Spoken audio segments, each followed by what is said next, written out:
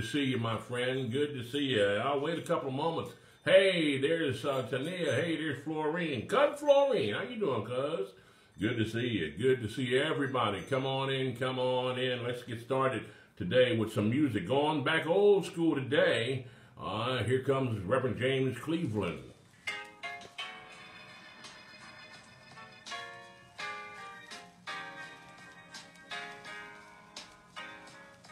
Good song.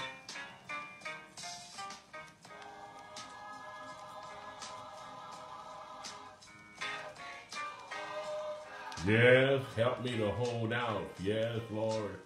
Robin Bryson, good to see you, my friend. Hey, Bishop. Hey, Bishop. All right, I can't play too much of this music because I don't have the rights to it, so let's hurry up and get out of there before they shut me down. Here I am. Am I here? Am I here? Here I am. Hey, everybody. Good to see you. I am so happy to be here and so happy once again to be a part of your life and you a part of my life on another Wednesday edition of Lunchbox with the Bishop. We do this every Wednesday at noon here on Facebook Live, and it's become very popular, and I appreciate everybody who tunes in every single week faithfully. Let's pray. Gracious God, we thank you today for what you are doing in our life for what you continue to do. Now, God, continue to bless us as only you can. We thank you, God, in advance for the lives that are going to be touched today by this lesson. Let the words of my mouth, the meditation of my heart be acceptable in thy sight, O Lord, my strength and my redeemer. And God's people said, Amen. We bring you greetings today from the front porch. of the Bishop's Cottage. Amen. That's a great place, and uh, I love to come out here on this porch. This weather is wonderful. In this great weather, out here with the screen door open and uh, just enjoying this nice, wonderful weather. And uh, it's a good day in the neighborhood, as Mr. Rogers used to say. Our lesson today comes from Mark chapter 6, just a couple of verses, verses 30 through 32. Mark chapter 6, verses 30 through 32. Uh, hello, everybody. I can't see everybody that well. I'm doing a new thing here with a new tripod, and so the iPad's a little far away from me, but um, let me try something else here in a moment. But I see a couple of people, and I see you, and I see you, and I see you. So if I don't call your name, don't be offended. Uh, today is not the day. Your day is coming. Mark chapter 6, verses 30 through 32 from the King James Version, and the apostles gathered themselves together unto Jesus and told him all things, both what they had done and what they had taught. And he said unto them, Come ye yourselves apart into a desert place and rest a while. For there were many coming and going, and they had no leisure so much as to eat. And they departed into a desert place by ship privately. Amen. That's the word of God for the people of God. The lesson today is titled Take a Break from the Chaos. Take a break from the chaos. Ladies and gentlemen, it is no secret that we live in a very busy world. It is sometimes chaotic chaotic. At times, our lives are in a state of complete confusion and disorder. With all the time saving devices that we have available to us uh, on the job and in our homes and in our workplaces, one would think that we would have much more time uh, to do the things we like to do, to spend more time with the family, to spend more time uh, volunteering to a charity, to spend more time at church. But the truth is that life too often is a zoom, zoom rat race. Anybody know what I'm talking about? Uh, it will make you crazy. And experts say that from time to time, you need to take a break from the chaos. In the 80s and 90s, I remember this. Some of you are too young to remember it. But I remember in the 80s and 90s, there was a television commercial, very popular, cute television commercial um, um, about Calgon.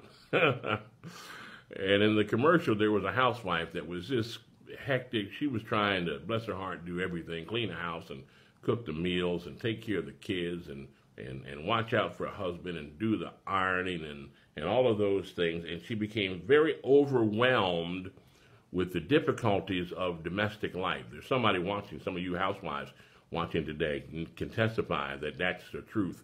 There's always something around the house to do. Run the vacuum, uh, cook the meals, uh, make the beds, wash the clothes, uh, all of those things that, that really uh, are part of, of the necessities of domestic life.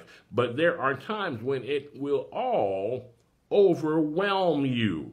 Hey, Fulton, good to see you, man. I wonder who watching today can testify to that, that there's always something in your life that will overwhelm you. Oh my God. And if I'm talking to you, if I've just walk down your street and you know what I'm talking about, then you know that there is a time when you need to take a break. And in the television commercial, the poor housewife, she would just suddenly stop and cry out, Calgon, take me away. when you heard that phrase, you knew that she was fed up. She had just reached the point of saturation and she had too much on her plate and she wanted nothing more than to take some time and relax in a hot bubble bath with Calgon crystals and soothe her aching body. I wonder who, who, who watching here today is transparent enough to admit that you need a break. If you need a break, if I'm talking to you right now and you're not ashamed to admit it, type in the text box right now. Take me away. I wonder who will do that. If you're really in need of a break because you're just overwhelmed by the vicissitudes of life and the responsibilities of domestic life, type that in your text box as quick as you can. Take me away. in our text today, the disciples have just returned from what I call an internship. They've been out, the Lord has allowed them to go out, spend some time preaching and teaching and healing and all of those things. And they had gone, um, Bishop, from, from place to place, from village to village, spreading the good news. They worked hard. They worked hard. They were excited about what they've been able to accomplish under the power and anointing of God. And when they returned home, they told Jesus all about it. They said, Lord, and let me see if I can make it live for you. Man, you should have seen us. Jesus, you would have been proud of your boys. I mean, we did everything that you taught us to do, and the people were on us. They were putting on, there were so many people pulling on us that we didn't even have time to stop for dinner or lunch, not even a snack. And Jesus, listen, he was, he was very proud of them. But he could also see that they were on the verge of burnout. Oh, my goodness. And so he says to them, You need a holiday. take a break from the chaos. Let's take the boat. Let's get in the water. Let's go for a walk in the hills because you need some time to relax and to eat and take some time off. Uh, leave work and responsibility behind you just for a little while. My God, someone watching me right now needs to do what Jesus told his disciples to do. Get someplace and chill. Mm-hmm. Because you're no good when you're worn out and when you're tired out. Listen, ladies and gentlemen, sometimes you just have to shut it down. Help me, Holy Spirit. From time to time, humans need our respites, those short periods of time when we can just rest and, and change the scenery and get away uh, someplace, especially in urban life, because things are moving so fast.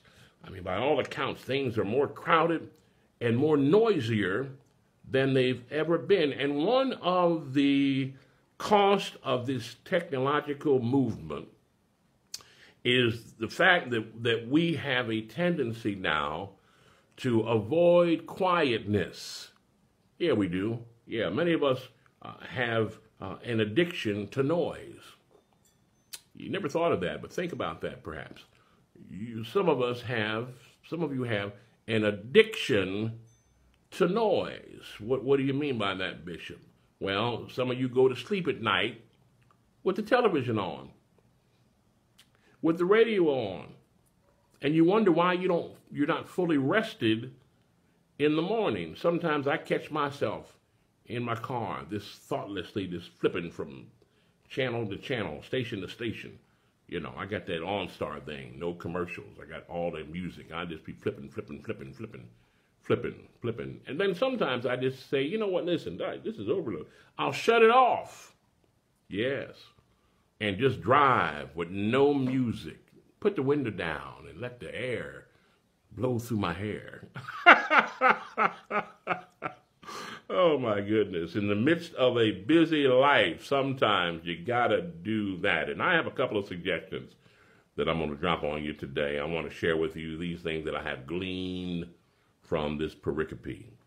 Again, I want you to observe how Jesus sees that these fellas really need a break.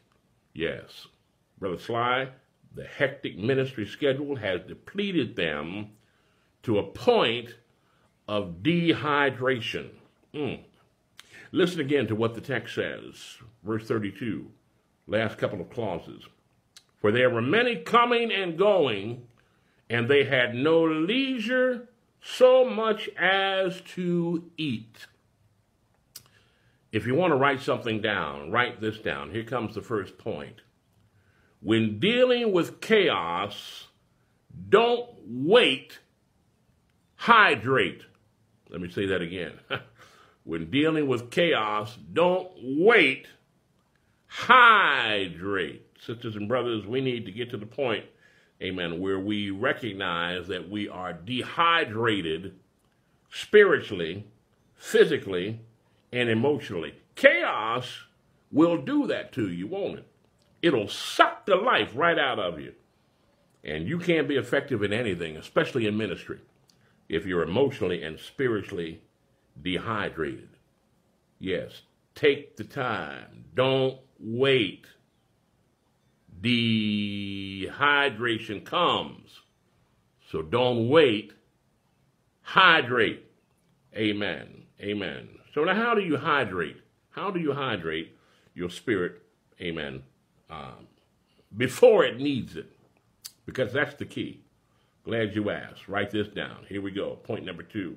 Two short words. Amen. It's my second point. Time away. That's the second point. Time away. Before the apostle burned out, Jesus planned a timeout. They came back and said, Lord, look, we were great. We were great. Jesus said, yeah, okay. But you boys don't even realize you're about to burn out. And so before they burn out totally, Jesus planned a time out, a time to rest.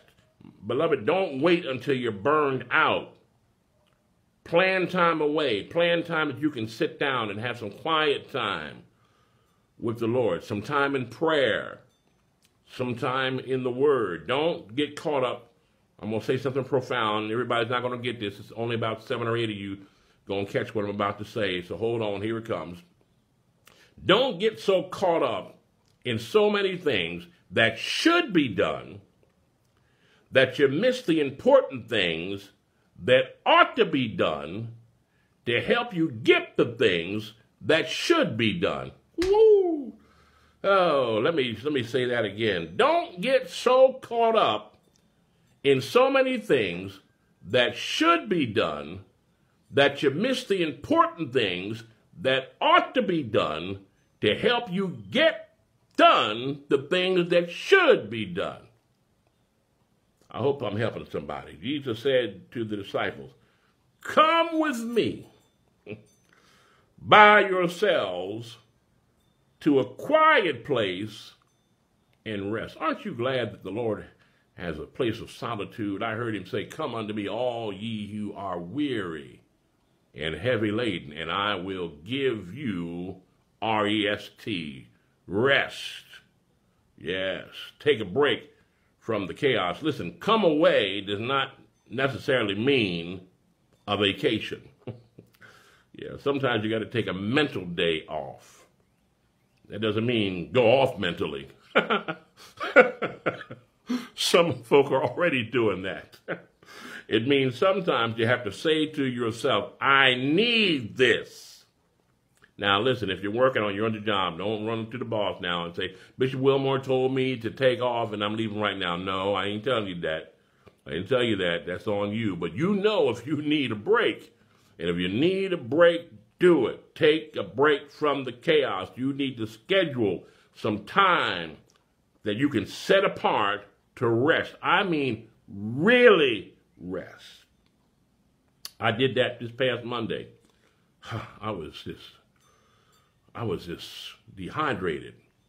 I was, I was preaching on Sunday and I heard the Lord speak to me and said, boy, you need to get someplace and chill. And I did. I told the church family, listen, Monday, tomorrow, I'm leaving. I'm going someplace. And I got to call my wife and listen, I don't know what you got to do, you know, but I'm I'm going to the beach. Got in my car, put some gas in it, headed on down to Rehoboth. Whoo, it was so nice. It was so nice. I didn't do nothing but just sit on the boardwalk, talk to a guy I met, had some pizza. Yeah, had a meatball sandwich. Drank some lemonade. It was a lot of fun. Just and you know, I didn't get in the water, too cold, but I got away. And I'm gonna do it again soon. Watch, watch, watch. I'm gonna do it again. Here's a suggestion. I'm not sure that uh, many of you will do it, but I'm gonna put it out there for you. I wonder how many of you will intentionally get along without your laptop or cell phone for 24 hours. Whew! Bishop, you ask it too much. Well, I know it's hard. It's hard because we are so connected electronically. But sometimes connection is chaotic. Oh my gosh. Sometimes connection is chaotic. And so, point number one when dealing with chaos, don't wait, hydrate. Point number two schedule time away, not necessarily a vacation, but quiet time. Even Jesus had to take a break from the chaos. Mark 6 1 and 35 says, On one occasion early in the morning, while it was still dark, Jesus got up, left the house, went to a secluded place, and was praying there. Jesus needed a spiritual and emotional fill up. Ladies and gentlemen, don't wait, don't wait, don't wait until you're in the middle of a spiritual desert to fill up. Because you might not find a filling station in the desert. Ooh. Make some time daily to hydrate your spirit. Listen to what the psalmist David says in Psalm 63 and 1. This is how it reads in the New American Standard Version of the Bible. Oh God, you are my God. David makes sure that he tells us it's personal. I seek you earnestly. My soul thirsts for you. Yes, you, my flesh yearns for you in a dry and weary land where there is no water. That's the way life is. Sometimes it's like a desert and we can't find water and we're thirsty. Some of y'all so thirsty right now for a break, you don't know what to do. And so take time, amen, to retreat and rest in the Lord because he will fill you up. Is there anybody here who can testify, amen, that he will fill you up. Point number one, I got to hurry up here. When dealing with chaos, don't wait, hydrate. Point number two, schedule time away, not necessarily a vacation, but quiet time. Here comes point number three. Are you ready? Here comes point number three. Sometimes you have to tell folk time out. Oh, wow. Some of y'all are dealing with chaos. Watch this because you allow people to keep pulling on you. I know you love them, I know you care about them, but sometimes you got to let them make it without you. Who am I speaking to today? Jesus did not feel guilty about taking time off, time out.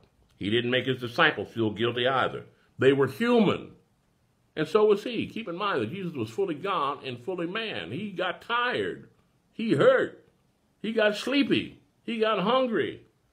Amen. These fellas had a hectic life, and there was a sense of urgency to get as much done as possible because Jesus only had a short time to get these things done. Ladies and gentlemen, the Lord had no qualms about a little bit of time away from the pressures that have been placed on him by others. Huh. Anybody here know that folk will pressure you? Yes, they will. They'll put stuff on you, make you feel like you're about to lose your mind. Marvin Gaye said, make me want to holler, throw up both my hands. Jesus needed to get away for a while. And so do we. In case you just tuned in today, the lesson today is titled Take a Break from the Chaos. Let's review a couple of points here. Point number one when dealing with chaos, don't wait, hydrate. Point number two schedule time away not necessarily a vacation, but quiet time.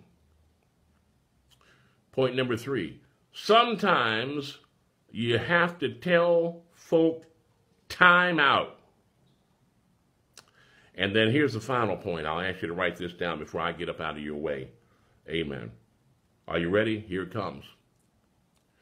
Retreat before you regret.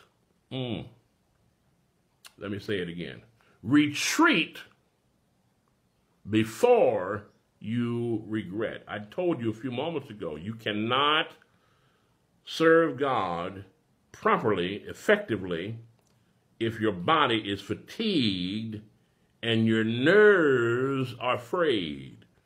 You end up shouting at folk, hollering at folk who disagree with you, and even people who agree with you and you don't even know why.